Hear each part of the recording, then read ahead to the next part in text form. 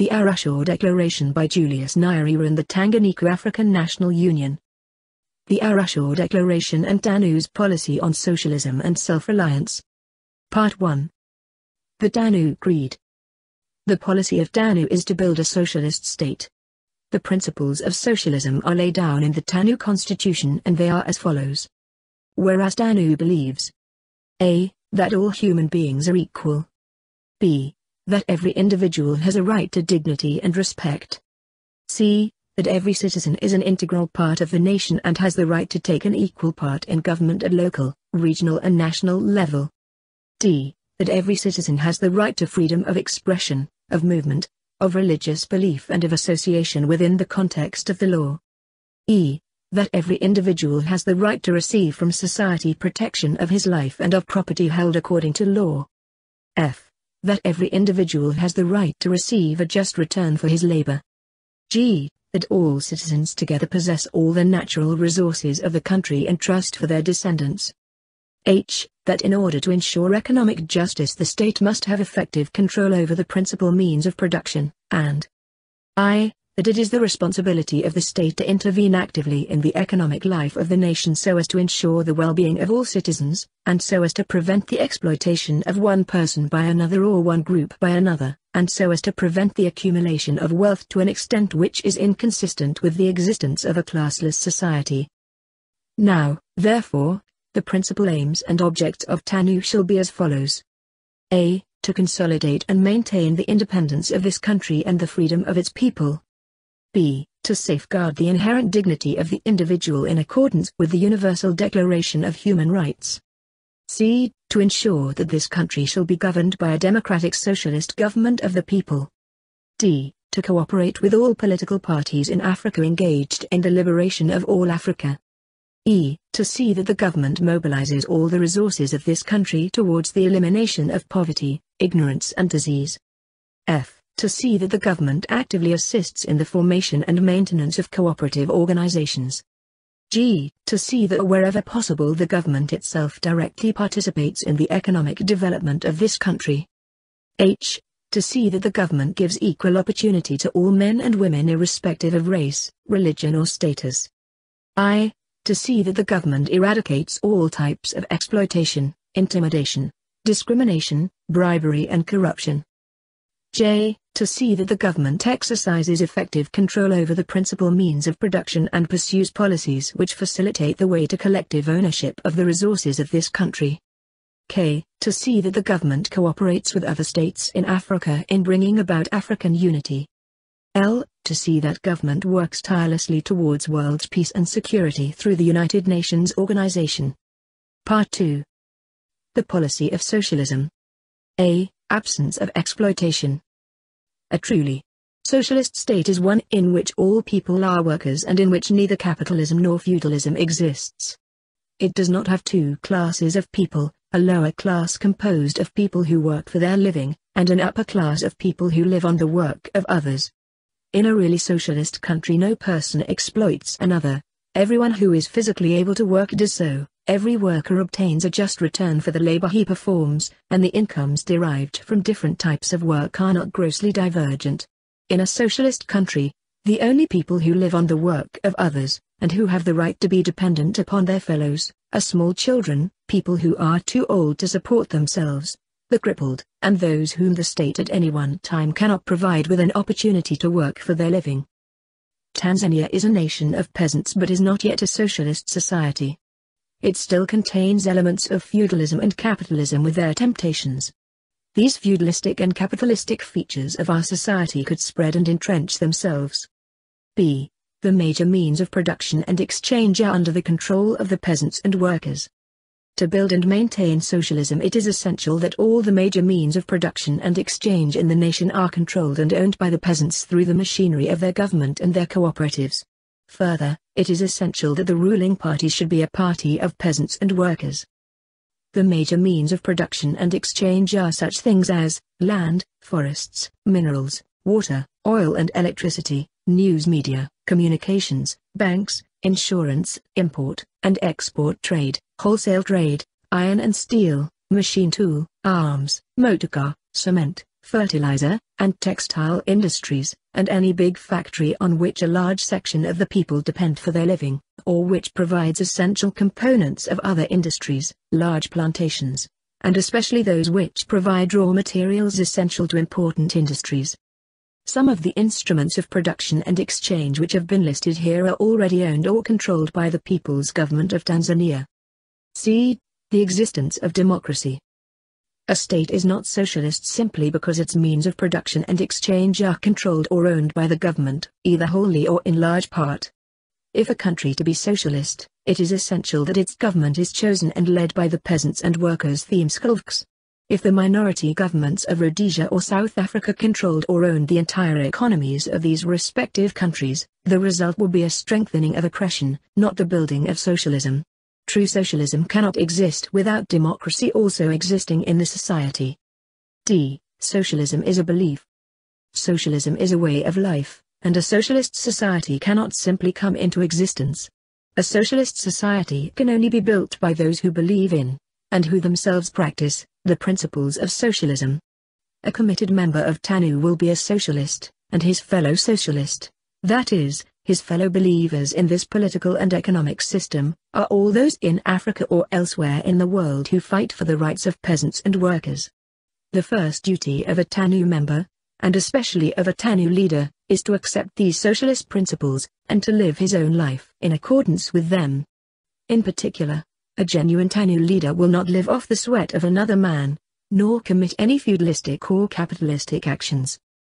The successful implementation of Socialist objectives depends very much up the leaders, because socialism is a belief in a particular system of living, and it is difficult for leaders to promote its growth if they do not themselves accept it. Part 3 The Policy of Self-Reliance We are at war. TANU is involved in a war against poverty and oppression in our country. The struggle is aimed at moving the people of Tanzania, and the people of Africa as a whole, from a state of poverty to a state of prosperity. We have been oppressed a great deal. We have been exploited a great deal and we have been disregarded a great deal. It is our weakness that has led to our being oppressed, exploited and disregarded. Now we want a revolution, a revolution which brings an end to our weakness, so that we are never again exploited, oppressed, or humiliated. A poor man does not use money as a weapon. But it is obvious that in the past we have chosen the wrong weapon for our struggle, because we chose money as our weapon. We are trying to overcome our economic weakness by using the weapons or the economically strong, weapons which in fact we do not possess. By our thoughts, words and actions it appears as if we have come to the conclusion that without money we cannot bring about the revolution we are aiming at. It is as if we have said, money is the basis of development. Without money there can be no development. That is what we believe at present. TANU leaders, and government leaders and officials, all put great emphasis and dependence on money. The people's leaders, and the people themselves, in TANU, NUTA, Parliament, UWT, the cooperatives, TAPA, and in other national institutions think, hope and pray for money. It is as if we had all agreed to speak with one voice, saying, if we get money we shall develop, without money we cannot develop. In brief, our five-year development plan aims at more food, more education, and better health, but the weapon we have put emphasis upon is money. It is as if we said, in the next five years we want to have more food, more education, and better health, and in order to achieve these things we shall spend 250 million pounds. We think and speak as if the most important thing to depend upon is money and anything else we intend to use in our struggle is of minor importance. When a member of parliament says that there is a shortage of water in his constituency, and he asks the government how it intends to deal with the problem, he expects the government to reply that it is planning to remove the shortage of water in his constituency, with money. When another member of parliament asks what the government is doing about the shortage of roads, schools or hospitals in his constituency, he also expects the government to tell him that it has specific plans to build roads, schools and hospitals in his constituency, with money. When a NUTA official asks the government about its plans to deal with the low wages and poor housing of the workers, he expects the government to inform him that the minimum wage will be increased and that better houses will be provided for the workers, with money. When a TAPA official asks the government what plans it has to give assistance to the many TAPA schools which do not get government aid, he expects the government to state that it is ready the following morning to give the required assistance, with money. When an official of the cooperative movement mentions any problem facing the farmer, he expects to hear that the government will solve the farmer's problems, with money in short, for every problem facing our nation. The solution that is in everybody's mind is money. Each year, each Ministry of Government makes its estimates of expenditure, that is the amount of money it will require in the coming year to meet recurrent and development expenses. Only one minister and his ministry make estimates of revenue.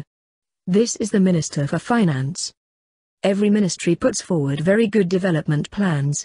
When the ministry presents its estimates, it believes that the money is there for the asking but that the Minister for Finance are being obstructive and regularly each year the Minister of Finance has to tell his fellow ministers that there is no money. And each year the ministers complain about the Ministry of Finance when it trims down their estimates. Similarly, when members of parliament and other leaders demand that the government should carry out a certain development, they believe that there is a lot of money to spend on such projects, but that the government is the stumbling block. Yet such belief on the part of ministries, members of parliament and other leaders does not alter the stark truth which is that government has no money. When it is said that government has no money, what does this mean? It means that the people of Tanzania have insufficient money the people pay taxes out of the very little wealth they have, it is from these taxes that the government meets its recurrent and development expenditure. When we call on the government to spend more money on development projects, we are asking the government to use more money.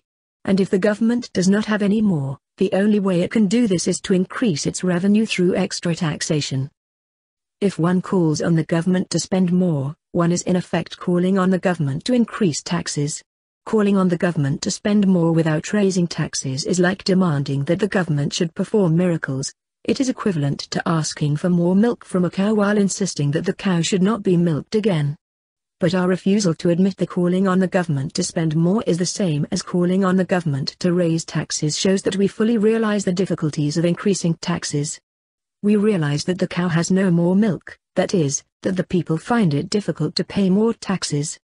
We know that the cow would like to have more milk herself, so that her calves could drink it, or that she would like more milk which could be sold to provide more comfort for herself or her calves but knowing all the things which could be done with more milk does not alter the fact that the cow has no more milk. What of external aid? One method we use to try and avoid a recognition of the need to increase taxes if we want to have more money for development, is to think in terms of getting the extra money from outside Tanzania. Such external finance falls into three main categories. A. Gifts. This means that another government gives our government a sum of money as a free gift for a particular development scheme, Sometimes it may be that an institution in another country gives our government, or an institution in our country, financial help for development programs. B. Loans. The greater portion of financial help we expect to get from outside is not in the form of gifts or charity, but in the form of loans. A foreign government or a foreign institution, such as a bank, lends our government money for the purposes of development. Such a loan has repayment conditions attached to it, covering such factors as the time period for which it is available and the rate of interest. C. Private investment. The third category of financial help is also greater than the first. This takes the form of investment in our country by individuals or companies from outside.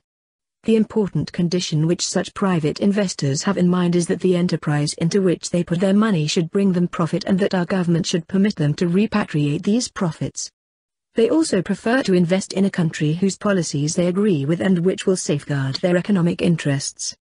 These are three, are the main categories of external finance. And there is in Tanzania a fantastic amount of talk about getting money from outside. Our government, and different groups of our leaders, never stop thinking about methods of getting finance from abroad. And if we get some money or even if we just get a promise of it, our newspapers, our radio, and our leaders, all advertise the fact in order that every person shall know that salvation is coming, or is on the way. If we receive a gift we announce it. If we receive a loan we announce it, if we get a new factory we announce it, and always loudly. In the same way, when we get a promise of a gift, a loan, or a new industry, we make an announcement of the promise. Even when we have merely started discussions with a foreign government or institution for a gift, a loan, or a new industry, we make an announcement, even though we do not know the outcome of the discussions. Why do we do all this? Because we want people to know that we have started discussions which will bring prosperity. Do not let US depend upon money for development. It is stupid to rely on money as the major instrument of development when we know only too well that our country is poor. It is equally stupid, indeed it is even more stupid, for us to imagine that we shall rid ourselves of our poverty through foreign financial assistance rather than our own financial resources. It is stupid for two reasons. Firstly, we shall not get the money. It is true that there are countries which can, and which would like to, help us.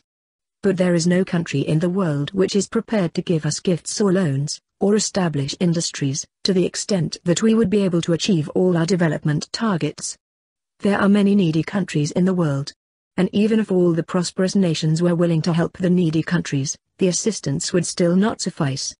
But in any case the prosperous nations have not accepted a responsibility to fight world poverty.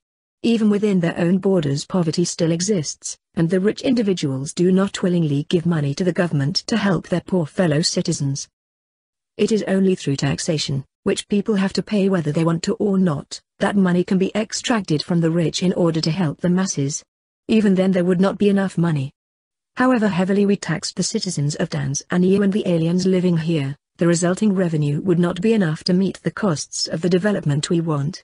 And there is no world government which can tax the prosperous nations in order to help the poor nations, nor if one did exist could it raise enough revenue to do all that is needed in the world.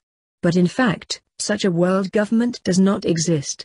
Such money as the rich nations offer to the poor nations is given voluntarily, either through their own goodness, or for their own benefit. All this means that it is impossible for Tanzania to obtain from overseas enough money to develop our economy.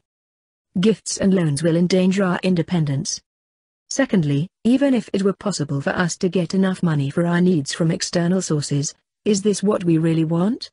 Independence means self-reliance, Independence cannot be real if a nation depends upon gifts and loans from another for its development. Even if there was a nation, or nations, prepared to give us all the money we need for our development, it would be improper for us to accept such assistance without asking ourselves how this would affect our independence and our very survival as a nation. Gifts which increase, or act as a catalyst, to our own efforts are valuable, gifts which could have the effect of weakening or distorting our own efforts should not be accepted until we have asked ourselves a number of questions. The same applies to loans. It is true that loans are better than free gifts. A loan is intended to increase our efforts or make those fruitful.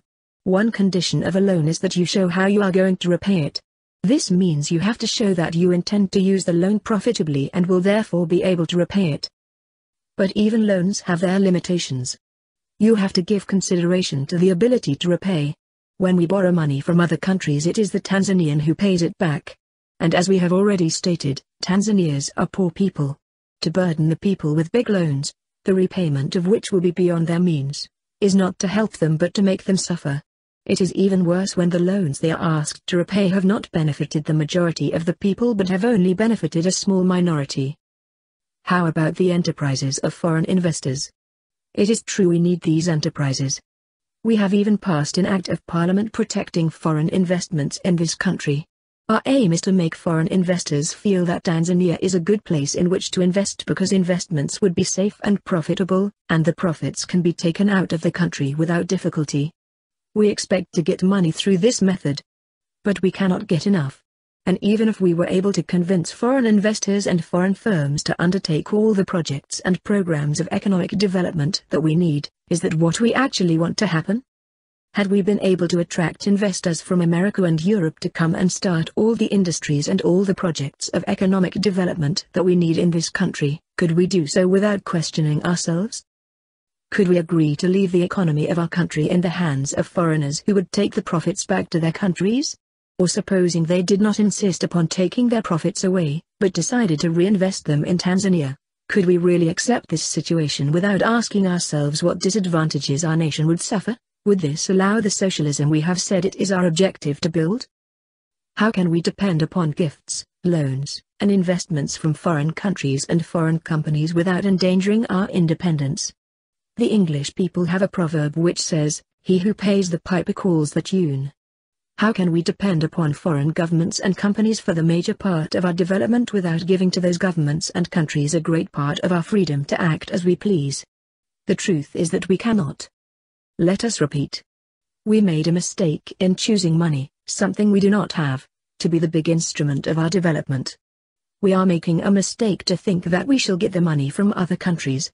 First, because in fact we shall not be able to get sufficient money for our economic development, and secondly, because even if we could get all that we need, such dependence upon others would endanger our independence and our ability to choose our own political policies. We have put too much emphasis on industries. Because of our emphasis on money, we have made another big mistake. We have put too much emphasis on industries. Just as we have said, without money there can be no development, we also seem to say, industries are the basis of development, without industries there is no development. This is true the day when we have lots of money we shall be able to say we are a developed country. We shall be able to say, when we began our development plans we did not have enough money and this situation made it difficult for us to develop as fast as we wanted. Today we are developed and we have enough money. That is to say, our money has been brought by development. Similarly, the day we become industrialized we shall be able to say we are developed. Development would have us to have industries, the mistake we are making is to think that development begins with industries. It is a mistake because we do not have the means to establish many modern industries in our country. We do not have either the necessary finances or the technical know-how. It is not enough to say that we shall borrow the finances and the technicians from other countries to come and start the industries. The answer to this is the same one we gave earlier, that we cannot get enough money and borrow enough technicians to start all the industries we need and even if we could get the necessary assistance, dependence on it could interfere with our policy on socialism. The policy of inviting a chain of capitalists to come and establish industries in our country might succeed in giving us all the industries we need but it would also succeed in preventing the establishment of socialism unless we believe that without first building capitalism, we cannot build socialism. Let us pray and heed to the peasant, our emphasis on money and industries has made us concentrate on urban development. We recognize that we do not have enough money to bring the kind of development to each village which would benefit everybody. We also know that we cannot establish an industry in each village and through this means erect a rise in the real incomes of the people. For these reasons we spend most of our money in the urban areas and our industries are established in the towns. Yet the greater part of this money that we spend in the towns comes from loans whether it is used to build schools, hospitals, houses or factories, etc., it still has to be repaid. But it is obvious that it cannot be repaid just out of money obtained from urban and industrial development. To repay the loans we have to use foreign currency which is obtained from the sale of our exports. But we do not now sell our industrial products in foreign markets, and indeed it is likely to be a long time before our industries produce for export. The main aim of our new industries is import substitution dash that is, to produce things which up to now we have had to import from foreign countries. It is therefore obvious that the foreign currency we shall use to pay back the loans used in the development or the urban areas will not come from the towns or the industries. Where, then, shall we get it from?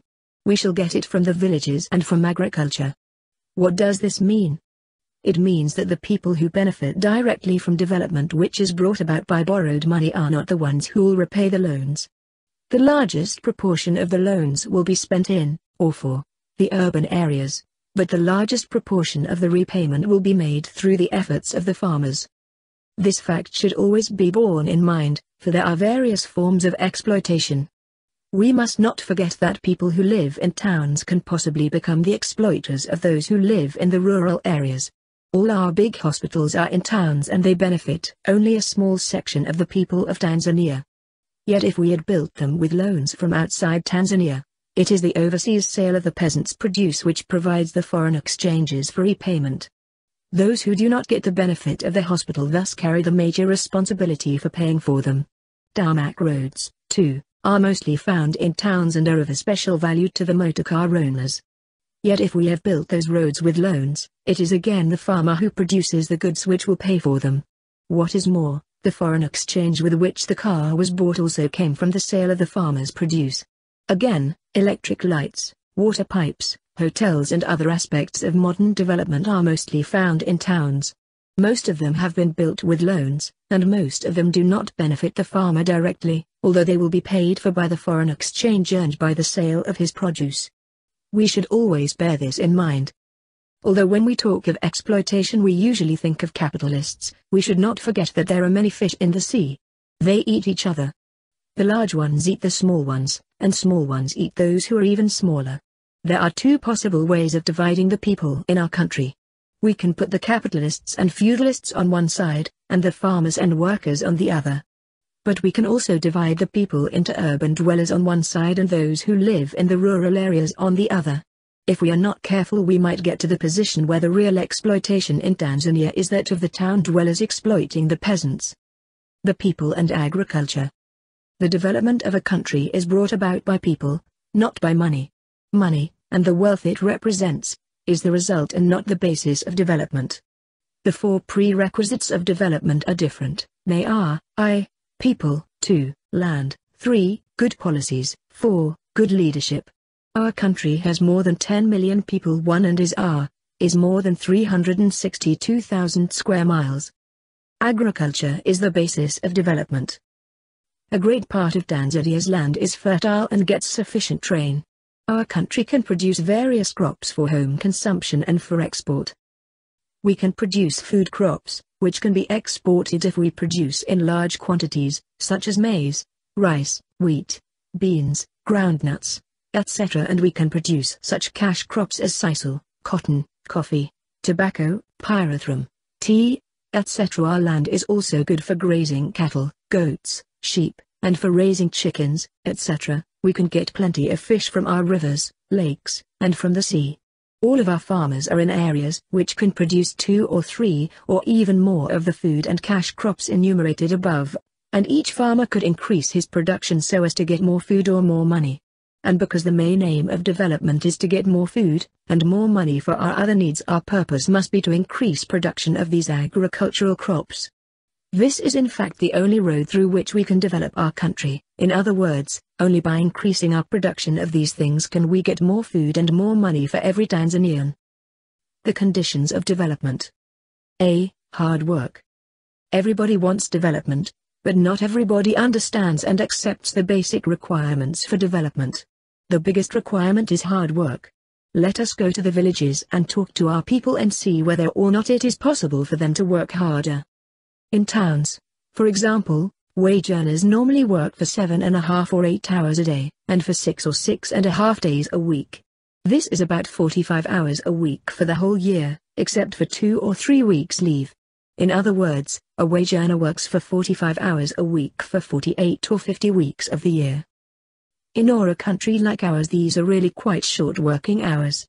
In other countries, even those which are more developed than we are, People work for more than 45 hours a week. It is not normal for a young country to start with such a short working week. The normal thing is to begin with long working hours and decrease them as the country becomes more and more prosperous. By starting with such short working hours and asking for even shorter hours, we are in fact imitating the more developed countries. And we shall regret this imitation. Nevertheless, Wage earners do work for 45 hours per week and their annual vacation does not exceed four weeks. It would be appropriate to ask our farmers, especially the men, how many hours a week and how many weeks a year they work. Many do not even work for half as many hours as the wage earner does. The truth is that in the villages the women work very hard. At times they work for 12 or 14 hours a day. They even work on Sundays and public holidays. Women who live in the villages work harder than anybody else in Tanzania. But the men who live in villages, and some of the women in towns, are on leave for half of their lira. The energies of the millions of men in the villages and thousands of women in the towns which are at present wasted in gossip, dancing and drinking, are a great treasure which could contribute more towards the development of our country than anything we could get from rich nations.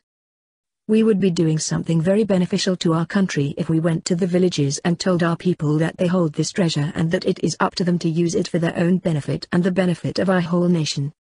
B. Intelligence. The second condition of development is the use of intelligence. Unintelligent hard work would not bring the same good results as the two combined.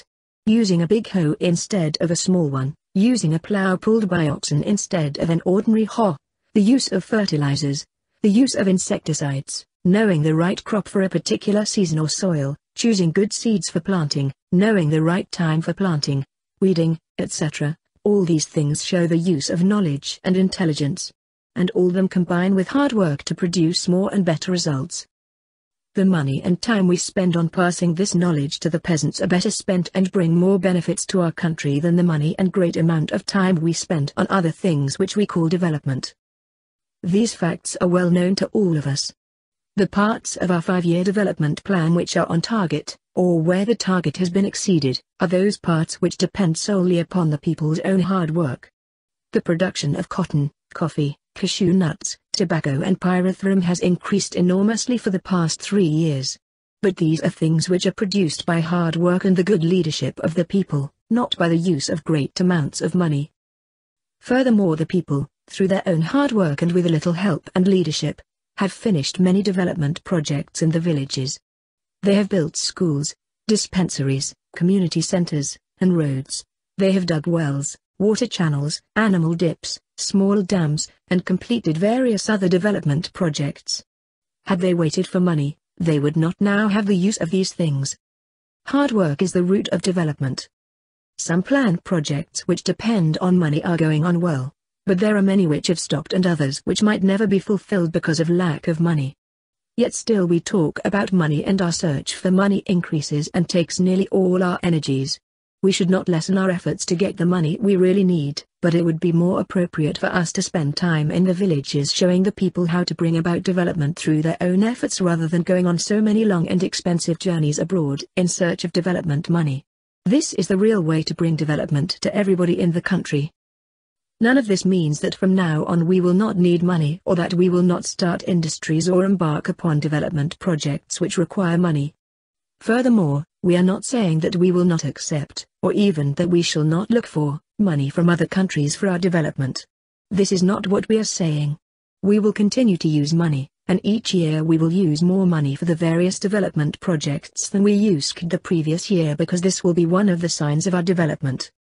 What we are saying, however, is that from now on we shall know what is the foundation and what is the fruit of development. Between money and people it is obvious that the people and their hard work are the foundation of development, and money is one of the fruits of that hard work. From now on we shall stand upright and walk forward on our feet rather than look at this problem upside down. Industries will come and money will come but their foundation is the people and their hard work, especially in agriculture. This is the meaning of self-reliance. Our emphasis should therefore be on A. The land and agriculture. B the people. C. The policy of socialism and self-reliance, and D. Good leadership. A. The land.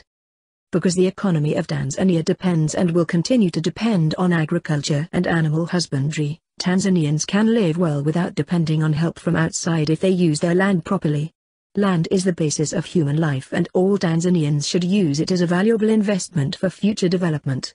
Because the land belongs to the nation, the government has to see to it that it is being used for the benefit of the whole nation and not for the benefit of one individual or just a few people. It is the responsibility of TANU to see that the country produces enough food and enough cash crops for export.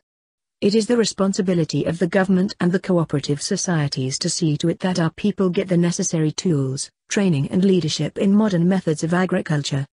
B. The people. In order properly to implement the policy of self-reliance, the people have to be taught the meaning of self-reliance and its practice. They must become self-sufficient in food, serviceable clothes and good housing. In our country work should be something to be proud of, and laziness, drunkenness and idleness should be things to be ashamed of. And for the defense of our nation, it is necessary for us to be on guard against internal stooges who could be used by external enemies who aim to destroy us. The people should always be ready to defend their nation when they are called upon to do so. C. Good policies. The principles of our policy of self-reliance go hand in hand with our policy of socialism. In order to prevent exploitation it is necessary for everybody to work and to live on his own labor. And in order to distribute the national wealth rarely, it is necessary for everybody to work to the maximum of his ability. Nobody should go and stay for a long time with his relative, doing no work, because in doing so he will be exploiting his relative. Likewise, Nobody should be allowed to loiter in towns or villages without doing work which would enable him to be self-reliant without exploiting his relatives. TANU believes that everybody who loves his nation has a duty to serve it by cooperating with his fellows in building the country for the benefit of all the people of Tanzania. In order to maintain our independence and our people's freedom we ought to be self-reliant in every possible way and avoid depending upon other countries for assistance. If every individual is self-reliant 10 house cell will be self-reliant. If all the cells are self-reliant the whole ward will be self-reliant, and if the wards are self-reliant the district will be self-reliant. If the districts are self-reliant, then the region is self-reliant, and if the regions are self-reliant, then the whole nation is self-reliant and this our aim. D. Good leadership. TANU recognizes the urgency and importance of good leadership, but we have not yet produced systematic training for our leaders, it is necessary that TANU headquarters should now prepare a program of training for all leaders, from the national level to the 10 house cell level, so that every one of them understands our political and economic policies. Leaders must set a good example to the rest of the people in their lives and in all their activities. Part 4 TANU membership Since the party was founded we have put great emphasis on getting as many members as possible, this was the right policy during the independence struggle. But now the national executive feels that the time has come when we should put more emphasis on the beliefs of our party and its policies of socialism. That part of the TANU constitution which relates to the admission of a member should be adhered to, and if it is discovered that a man does not appear to accept the faith, the objects, and the rules and regulations of the party, then he should not be accepted as a member. In particular, it should not be forgotten that TANU is a party of peasants and workers. Part 5 The Arusha Resolution Therefore, the National Executive Committee, meeting in the Community Center at Arusha from the 26th of January 1967 to the 29th of January 1967 resolves A. The Leadership 1. Every TANU and government leader must be either a peasant or a worker, and should in no way be associated with the practices or capitalism or feudalism. 2. No TANU or government leader should hold shares in any company. 3. No TANU or government leader should hold directorships in any privately owned enterprise. 4. No TANU or government leader should receive two or more salaries. 5. No TANU or government leader should own houses which he rents to others. 6. For the purposes of this resolution the term leader should comprise the following. Members of the TANU National Executive Committee, ministers, members of parliament, senior officials of organizations affiliated to TANU, senior officers of parastatal organizations, all those appointed or elected under any clause of the TANU constitution, councillors, and civil servants in the higher and middle cadres. In this context leader means a man, or a man and his wife, a woman, or a woman and her husband. B. The government and other institutions. 1. Congratulates the government for the steps it has taken so far in the implementation of the policy of socialism. 2. Calls upon the government to take further steps in the implementation of our policy of socialism as described in Part 2 of this document without waiting for a commission on socialism. 3 calls upon the government to put emphasis, when preparing its development plans, on the ability of this country to implement the plans rather than depending on foreign loans and grants as has been done in the current five-year development plan. The National Executive Committee also resolves that the plan should be amended so as to make it fit in with the policy of self-reliance. 4 calls upon the government to take action designed to ensure that the incomes of workers in the private sector are not very different from the incomes of workers in the public sector. 5. Calls upon the government to put great emphasis on actions which will raise the standard of living of the peasants and the rural community. 6. Calls upon NUTA, the cooperatives, TAPA, UWT, TYL, and other government institutions to take steps to implement the policy of socialism and self-reliance. C. Membership. Members should get thorough teaching on party ideology so that they may understand it, and they should always be reminded of the importance of living up to its principles.